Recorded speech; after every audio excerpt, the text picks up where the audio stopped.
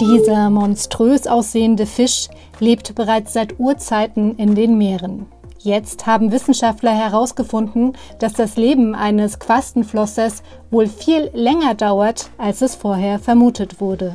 Die Biologen haben dafür Verkalkungen in den Schuppen der Tiere untersucht. Anhand der sogenannten Zirkuli können sie Rückschlüsse auf das Alter der Fische ziehen.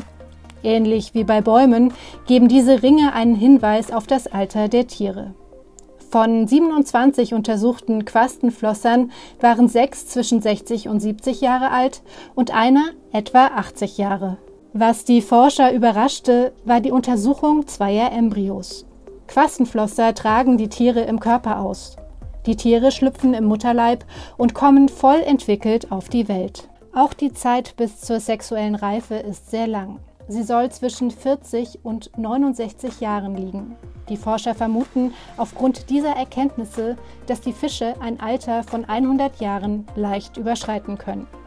Die Wirbeltiere mit dem höchsten Alter sind Quastenflosser allerdings nicht. Der Grönlandhai hält diesen Rekord bislang.